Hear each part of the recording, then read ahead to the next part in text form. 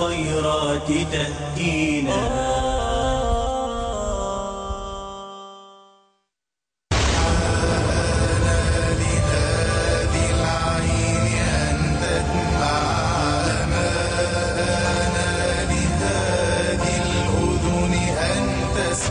هذه وصية سيدنا رسول الله صلى الله عليه وسلم من عال جاريتين حتى تبلغا كنت أنا وهو في الجنة كهاتين. يا الله. ما تصلي يا بخيل. صلى الله عليه وآله وسلم. شايف البشرة دي؟ بشرة كبيرة قوي. من عال. عال يعني إيه؟ ربى واعتنى. من عال جاريتين. أي ابنتين صغيرتين. من عال جاريتين. حتى تبلغ كنت. النبي يقول كده. كنت أنا وهو في الجنة كهاتين كهاتين وأشار بالسبابة والوسطى. يا للأجر ويا للفضل. الله الله الله. طيب صحيح البخاري ومسلم حديث أم المؤمنين عائشة أنه صلى الله عليه وسلم حين دخلت امرأة على أم المؤمنين عائشة ومعها ابنتان لها فسألتها الصدقة فأعطتها أم المؤمنين تمرة لم تجد عندها إلا تمرة واحدة. يا الله يا رب استرنا يا رب. بيت من بيوت النبي فيه تمرة واحدة. آه أصحاب المليارات والناس مش لاقية تاكل. أصحاب مئات الملايين والناس مش لاقية تاكل. بيت سيدنا النبي فيه تمرة بيت عائشة فيه تمرة بس تمرة واحدة. يا رب استرنا ولا تفضحنا. تقول فلم تجد عندي إلا تمرة واحدة فأعطيتها إياها. كمان آه أيوة. حتى التمر ده تمرة واحدة آه ولو. أعطت السائلة الأم أم. فقسمت الأم التمرة بين ابنتيها. هذه نصف تمرة وهذه نصف تمرة. وممكن نصف تمرة يدخلك الجنة وينجيك من النار. كما في الصحيحين من حديث علي بن حاتم. وفيه فاتقوا النار ولو بشق تمرة يعني بنصف تمرة. فقسمت الأم التمرة بين ابنتيها وخرجت.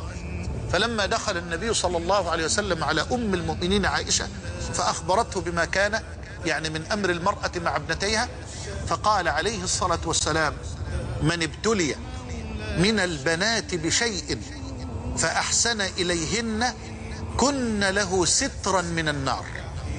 وفي رواية من ابتلي من البنات بشيء فأحسن إليهن كن له حجابا من النار. طب بالله عليك يا أختي الكريمة عاوزة أكثر من كده؟ والوالد الكريم عاوز أكثر من كده؟ من ابتلي ابتلي؟ طب ليه النبي قال ابتلي؟ ما هو قال ابتلي ما قالش بلي ابتلي اختبر. ابتلاء اختبار. وهو الابتلاء اختبار وامتحان من ابتلي فضلا حتى لو قال بلي من البلاء فكان كثير من الناس في هذا الوقت يعتبرون البنات بلاء. ألم تقرأ معي قول الله؟ وإذا الموءودة سئلت بأي ذنب قتلت؟ كانوا يعتبرون البنت بلاء بل ويقتلونها حية خشية الفقر والعار.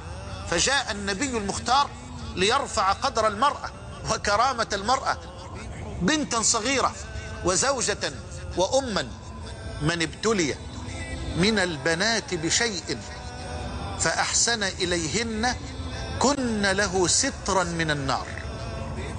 يا سلام على البشرى الجميلة دي. فلا يحل لرجل أن يظلم ابنته بأخذ ميراثها وتوزيع على أولاده من الذكور بدعوى أن البنت ستذهب إلى بيت زوجها وبدعوى أن الولد هو الذي يكدح ويتعب مع أبيه ويحرم كثير من الآباء البنات في الميراث. وهذا ظلم بشع وبين. إذا قسم والد من الآباء المال بين أولاده بغير شرع الله يعني بهواه بكيفه بمزاجه الولد ده انت تاخد مئة ألف والولد التاني ده لا انت مئتين ألف. عشان انت ولد طول عمرك بر. والبنت دي لا ما تاخدش ولا جنيه لأنها ما عندهاش بر بأمها. والبنت دي ما تاخدش لأن زوجها غني. لا لا هذا باطل. هذا باطل. وهذا تألي على الله عز وجل وتجاوز لحد الله في الميراث. لا يجوز لأي مسلم يتقي الله أن يفعل هذا. فإذا مات هذا الوالد وقد قسم التركة بهذه الصورة الباطلة الظالمة يجب على الأولاد بعد موت والدهم إن كانوا بارين به أن يعيدوا قسمة التركة لأن التقسيم الأول تقسيم باطل وتقسيم لا يجوز شرعا.